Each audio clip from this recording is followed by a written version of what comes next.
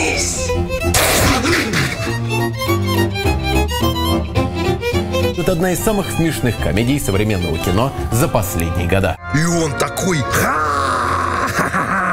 теперь ты тоже вампир.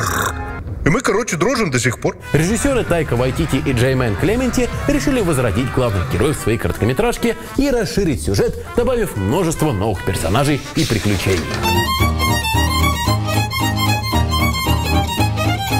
Потрясающее пособие о том, как сэкономив, можно сделать комедийный шедевр.